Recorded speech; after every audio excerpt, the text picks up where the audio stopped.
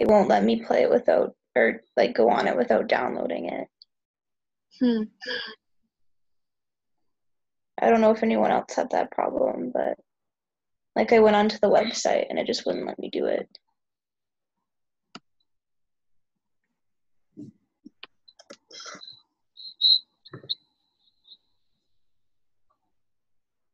I, I honestly have no idea what I'm doing, but this is vaguely interesting.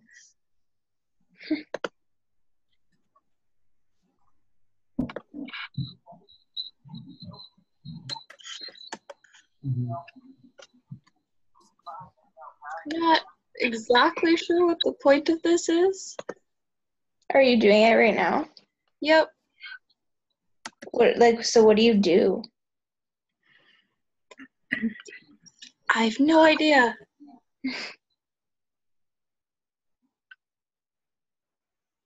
I think it's you can get it to move and talk and I have no idea. Hmm. I'm just looking at the slides for it and it says it's for problem solving. Yeah, I kind of like I skimmed the slides. I just wasn't really sure exactly like how like what that meant.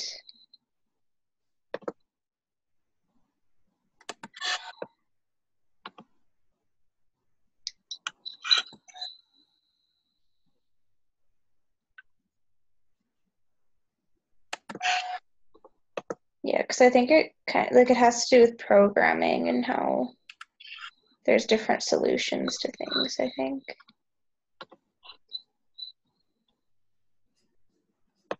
It says like your task is to move the ball in the circle or whatever. And then you use like programming to do that. Okay.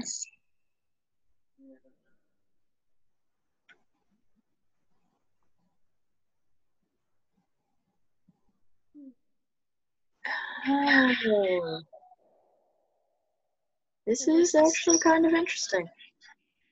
Yeah.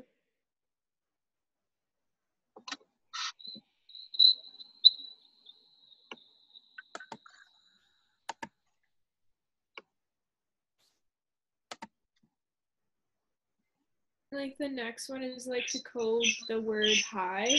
Yeah, I'm looking at that part right now. Yeah. So how you can write. Okay. Mhm.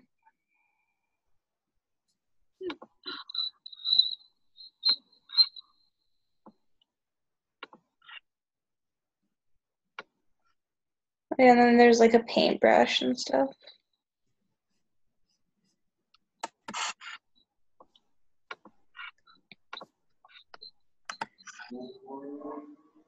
Has anyone ever coded before? No.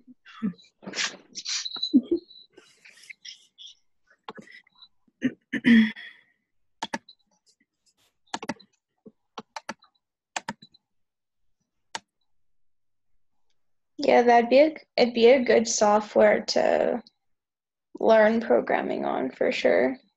Cause it like I like Kaegan, does it give you a step by step process kind of of how to do it? Um, not really. Um, It just kind of threw me in there, and it's like, here, do this. oh, I was on it earlier today, and on the sides it tells you, it kind of shows you what to do. Um, like there's a tutorial on the side of the page. I don't know if you have that or not. I was gonna say like you could totally probably Google like scratch how to or whatever. mm-hmm. There's probably so many videos. Ooh. I made a circle, guys. Yeah, her video too, like the slides, gives a pretty good description, I think, of how to do it.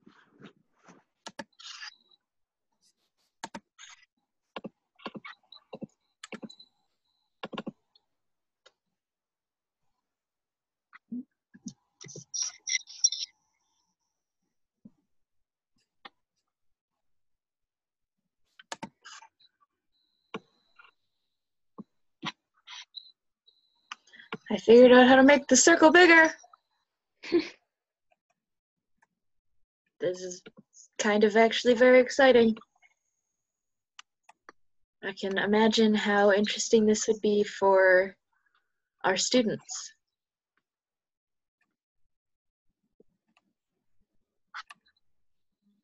So, did anyone else make anything? Or no?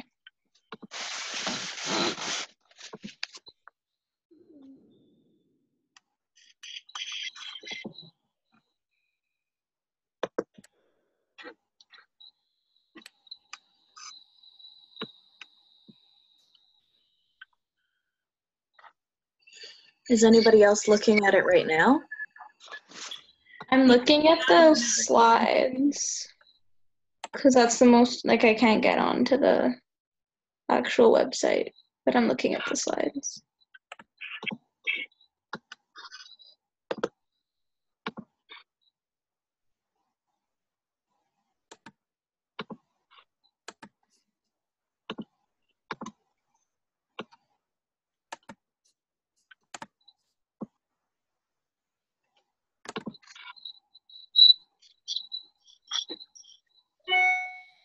It looks complicated.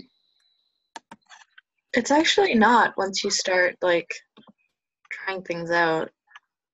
Yeah, I I guess it's kind of one of those things where it like seems hard, but like when you actually get to practice doing it, like it's not as difficult.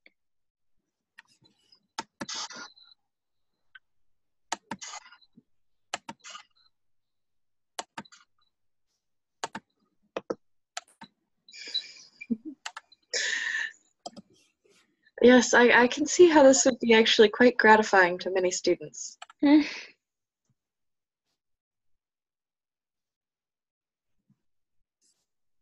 Oh, you can add music to it? Yes. Hmm. That's cool. Actually, they have a large library of like sounds that you, you could actually have students oh like do a composition of some sort using Yeah, this technology. that's cool. It's very interesting.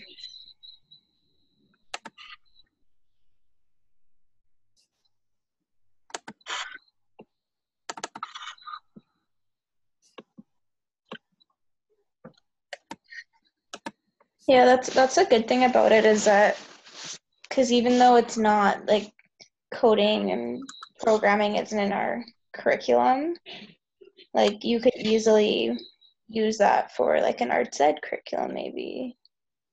Like there's lots of ways to kind of incorporate it. Exactly. Well, and the kids that we're going to be teaching are going to be very focused on technology Yeah. because it's just how what they grew up with. Mhm.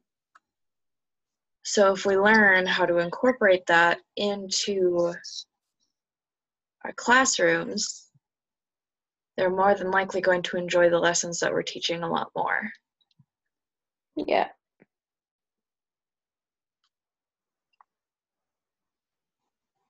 So has anybody played The Sims before?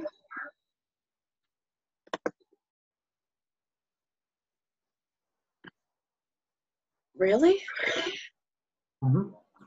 I played it way too much when I was a kid.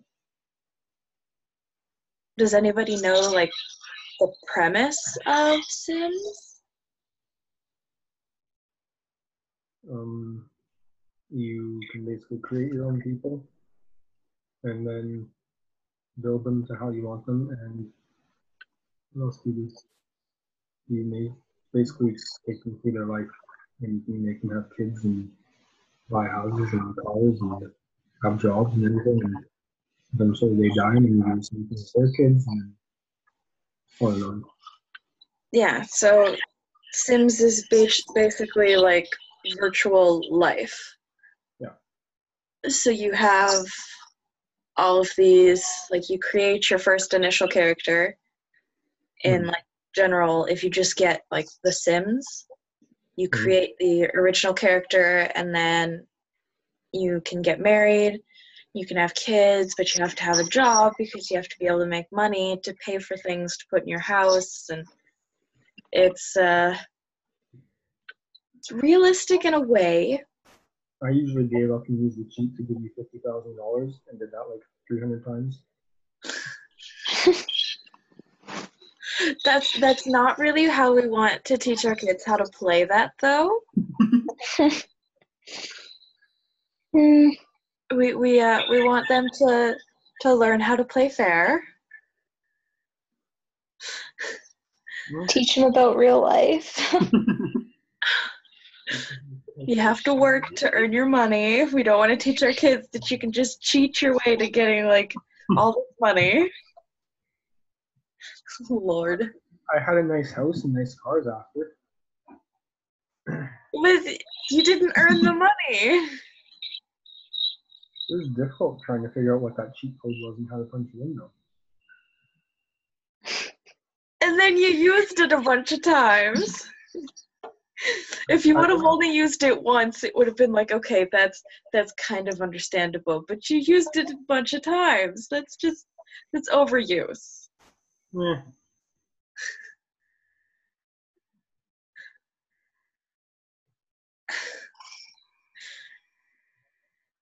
So now knowing the basic premise of how to play The Sims, um, she wants us to talk about how it could be useful in our classroom.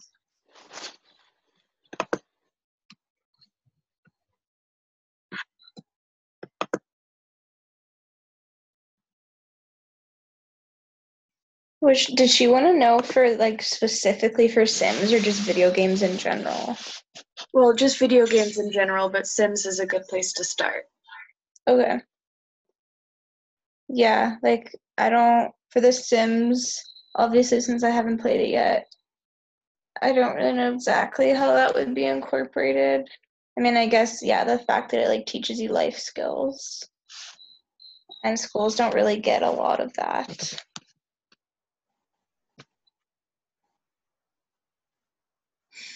like things that I always found really fascinating in high school were in like our our home economics classes. Uh, we once had to do. We were given a budget and options for houses and jobs and vehicles and all of that, and we had to actually like create a life, but with realistic parameters. And I Yeah. Found that like extremely helpful because it was kind of preparing me for what it would be like in when I actually had to do all this stuff on my own. When I had to learn how to make a budget and how to like incorporate all of my expenses into said budget. Yeah, we didn't have anything like that in high school, but I do remember when I was in grade eight, we did something kind of like that, uh, where we were just randomly giving given a job, and so based on that job, like we had an income, and then based on how much money we had, yeah, we had to like buy a house and a car and have a phone bill and things like that, and kind of add up how much money you were spending every month and yeah, it was interesting. But I think there should be more, yeah, like more classes like that in high school and stuff. Yeah. So Sims is kind of an interesting way to delve into that, but kind of lightly with games. Yeah. really. The only thing that would make me very apprehensive about this is the fact that there is the option to get married and have your Sims do things that adults do. And I know that there's a lot of kids. I'm not going to be sexist in this. There are a lot of children that would just go straight into that Yeah. just solely focus on I want my Sims to have all this sex, and that's it. Yeah. So, I think that yeah, that's a good point because like when you look up Sims kind of like if there's videos about it or like memes or anything, that's kind of the first thing that would come up. Like it wouldn't be it wouldn't be about oh like all these life skills and you get to buy a house. and- things any, like sexual scenes. All it says is like try for baby. So it could be worse. And yeah. people always go under the covers and all you see is like rose petals falling and covers moving around. Yes, that that is true, but it, it's still premise sh- is still be- like there's a lot of people who are going to focus on that just because of the premise of oh they're having sex Yeah, like the immaturity. it's Mhm. not that they want to see them having sex it's just the idea of oh my sims are having sex this is so interesting Yeah. you're trying to get them to focus on like getting a job and keeping a house and taking care of everything else and paying bills and all that. And they're just like let's have all this sex which in itself could be a lesson learned because you never know. It could get to the point where they have too much of it and they lose their job and then they can't buy food and then they have to like go homeless and die. I don't know. I don't know what would happen in that situation I usually try to take very good care of my Sims, so.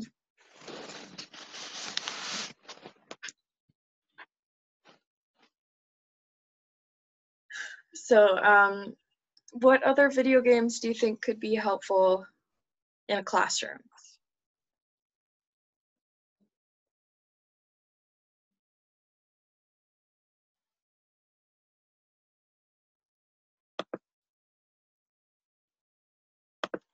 Um, the video game that I'm doing for the video game project is Dreambox. And it's an online math game. And so the way it works and and it it went along with um, the Gee's principles really well because unlike a lot of kind of math games, like this one has like an avatar that you can create and so you have this character and then you go through levels and there's different worlds um, where you play different games based on the curriculum of the grade you are.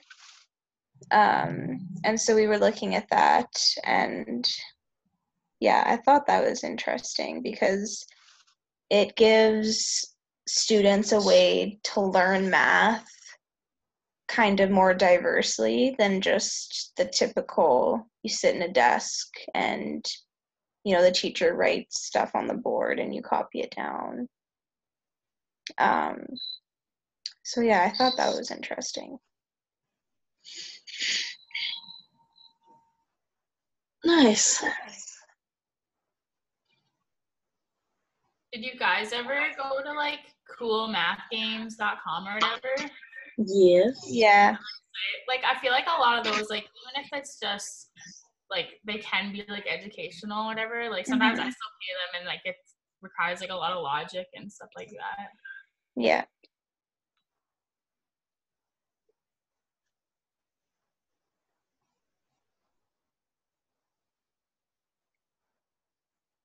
doesn't does everybody else have ideas for their video game project yet or no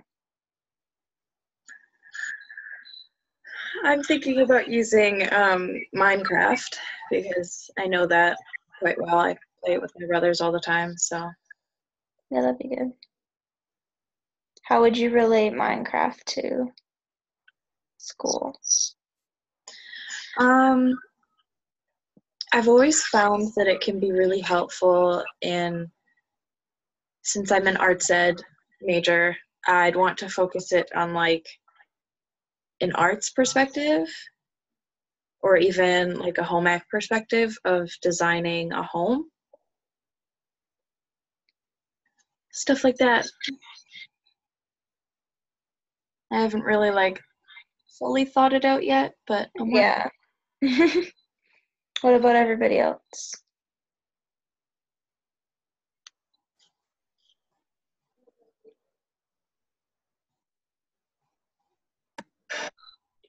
I'm not sure yet. Doing it on.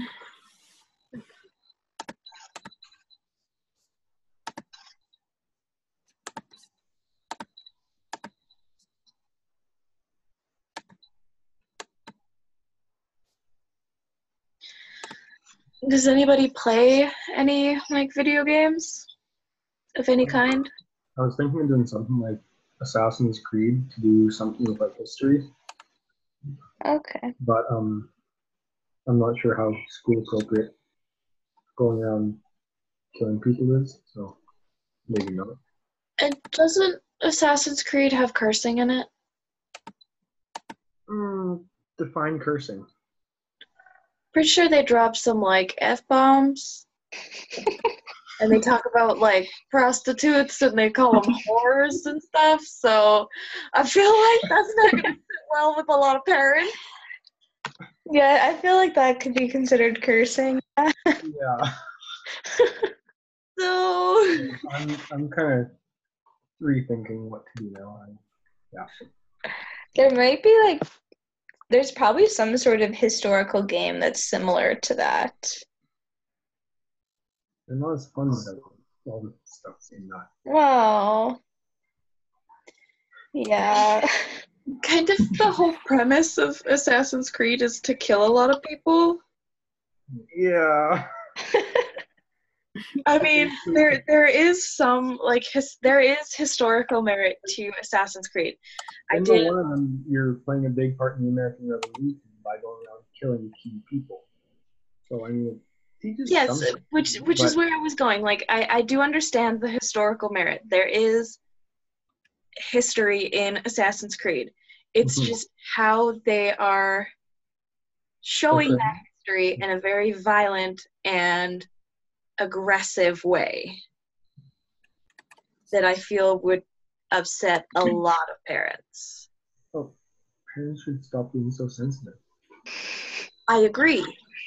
But I mean, the kids would be like 17, 18 before they learned about the revolution anyways. They haven't realized that people died by that age then. still not something that we're supposed to be having in schools. I know. So it is it is a great idea. And if Assassin's Creed was less about the killing and had so much less like cursing and talk about prostitutes and whores, be great. But just to, but where it's at right now, it's probably not the best idea. Back to the drawing board on that one. Yeah.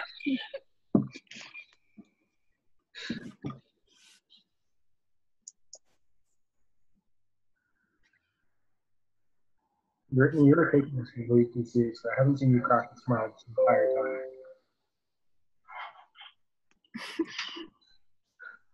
What? All I heard was my name and no smile. I don't think I've seen you smile all class, and you've been joking around the whole time. Oh, that's funny. There's your smile.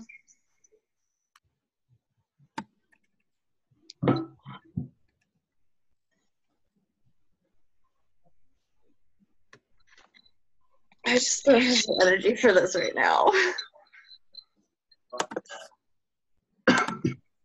Um, so the other part of that question was um, how might you use video games to support student learning, which we kind of went over.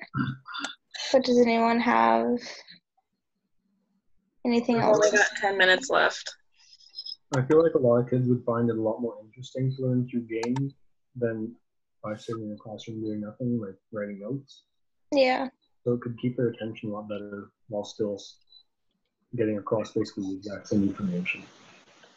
I also think that with technology, like students are just more comfortable mm-hmm. when they're learning with technology nowadays. And I think that's important because if they're in a comfortable learning environment, they're going to be more willing to want to actually learn. Well, and video games doesn't always mean something that you sit down at a computer or some kind of console to play. It could also be something like um, Just Dance or Dance Central or something like that that you bring into I was a, a gym class. Yeah. something to do that for phys ed. Because there are, and there's also lots of other games that you can get with the Kinect that are movement based. Yeah. Like even if you had a Wii and you brought in like Wii Sports or something like that, hmm that's it's a video game, but it's also something that you could use in your classroom. Hey, Wii boxing is a workout. Okay. And like if your school doesn't have a tennis court, yeah, there you go. oh like come on. Yeah. That's how sure. I learned to play tennis. I Yeah. honestly know nothing about tennis, but I can play it on the just saying. Or like Wii bowling if you wanna if you're doing a unit like we and when I was in phys ed in high school, we did a unit on bowling and we had to learn about how um, the scoring worked, like how to add up all the scores with strikes and spares and stuff. So could incorporate that. Exactly. And also with like sports and stuff, there is mathematics that you can teach with that. Yeah. Like if you're teaching a physics class, you can teach the physics of a bowling ball. Mhm. How does your throw affect the way the ball rolls? Or even with curling or boxing, or you can do physics with pretty much anything because physics Yeah. is the basis of pretty much a lot of stuff. Yeah.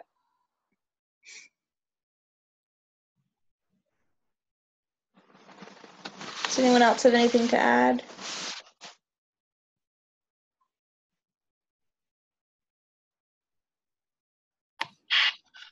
She didn't really give us very much to talk about today.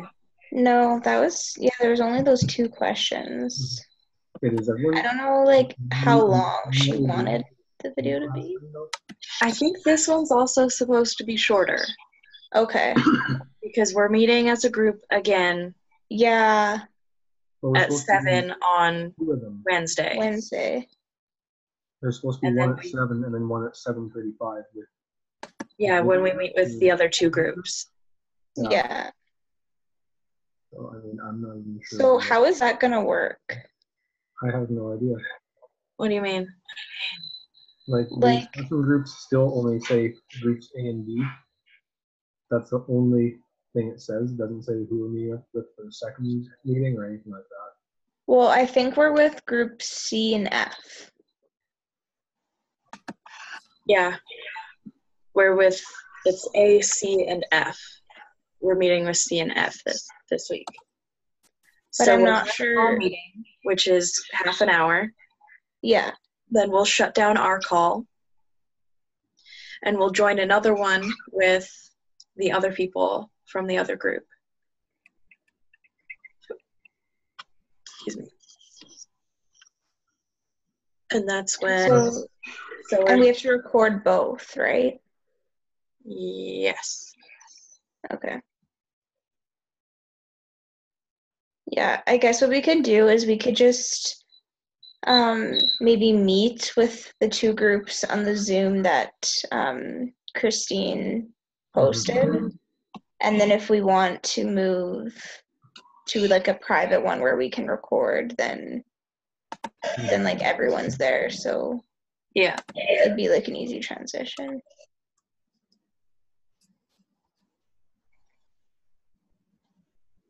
All right. So did everybody get their um their infographic in? Yeah, Yeah. has she marked those yet? Do you know? I was Pardon? that was my next question is if anybody has received their mark on that. I think she extended the due date until today, so probably not. Okay. Yeah, that's what because I was I was gonna go. I handed mine in on like Thursday, I think, but then yeah, she extended it, so I don't think she's gonna have any of them marked yet. And I also don't think she's in the country right now. It's probably why she hasn't responded to my email. Yeah. Um, so the week of the I'm looking at my calendar. The 22nd, I will not be participating in the group meeting or in the class meeting Um, Okay. because I am in the Rocky Horror Picture Show. Nice. So we've got our tech rehearsal on Monday and then we've got a performance on Wednesday. So you guys will have to keep me updated. But yeah, I emailed her about Yeah. that. I haven't heard back, so Okay. Hopefully it's okay that I missed class. We don't have a group meeting that week, I don't think. October 24th. Don't we? No, it says Oh no, we do not. meeting. Yeah. But we do have like a class meeting. A So class, yeah. I will Okay. not be there for that. We'll have to um get someone else to make an account. mhm. No, because there's no there's no group meeting that week. Oh, like for our group? Yeah, it's just for the whole class. Oh, okay, okay. Oh, I see. Yeah, there's no there's also no group meeting Next, week. Yes, next week is a week off, Mhm. which is nice. Does everyone know what they're doing for the second assignment, like the storytelling mapping thing? I don't know now because everything is considered research, but that's what the project is. But we're not allowed to conduct research. So, I just don't know what. I don't even know where to start. yeah. Like, this is getting to the point where I um, tend to just take the L on this and hope to make up for it in the rest of the assignments. hmm Does Um, anyone else like has anyone else done it yet? No. No. It's not due until the 17th, so I still got time. Yeah. I am a horrible procrastinator. Like last this is- Tuesday Yeah. when we got the email that she was postponing the deadline to the the first assignment, I was like, "That's good. I haven't even started it yet." I handed it in on Sunday, uh, yesterday. Infographic, you can start it like the night before. I think you need a little bit more time for this one. yeah. I did mine in like it took me like two hours. It took you Okay. two hours, including like research. Yeah. What? oh. I probably spent like at least 10 hours on mine. I took maybe four hours, and that was while I was visiting and watching Netflix. So I'm not saying that I that I did well. I have no idea how I've done yet, so we'll see. We'll see. Yeah, we'll have, we'll have to compare marks. What was my topic? The arts in school. Oh, okay. I really struggle with the research part. Like, I actually changed my topic like three times because it's like I can't find Oh. it. I did mine on the evolution of technology. And there was like quite a bit of information about that. So that was good. Well, I did mine on